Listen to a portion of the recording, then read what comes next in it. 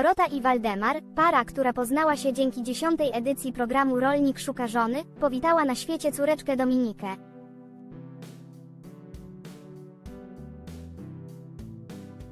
Jednak, jak się okazuje, poród nie przebiegł gładko. Dorotka, która wyszła już ze szpitala z córeczką, mówi, co się stało i dlaczego musiała zostać pod opieką lekarzy nieco dłużej.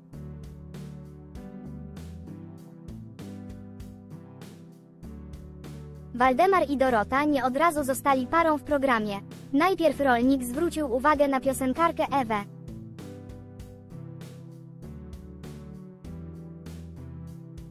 Kiedy jednak okazało się, że nie przypadła ona do gustu rodzicom Waldemara, mężczyzna zmienił obiekt swych zainteresowań.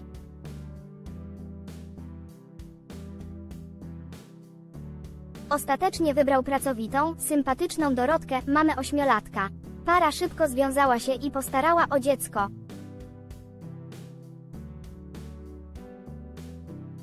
Jak czuje się Dorotka z Rolnik szuka żony po porodzie? Waldemar i Dorota z Rolnik szuka żony właśnie powitali małą Dominikę na świecie.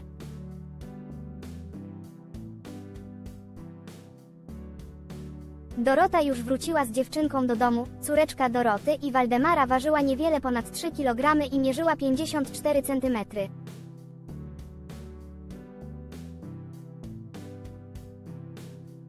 Ukochana Waldemara powoli dochodzi do siebie.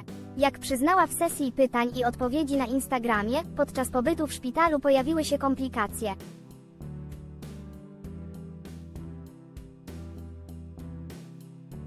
Pierwsze trzy dni były najgorsze, bo ledwo mogłam się ruszać, ale po trzech dniach już powoli wracałam do normy i z dnia na dzień jest coraz lepiej.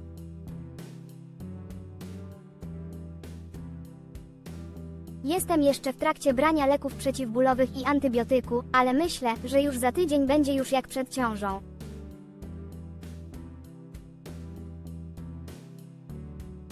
Dominisia ma się dobrze, to idealne dziecko, bezproblemowe i oby tak dalej, bo jest przesłodkim cukiereczkiem.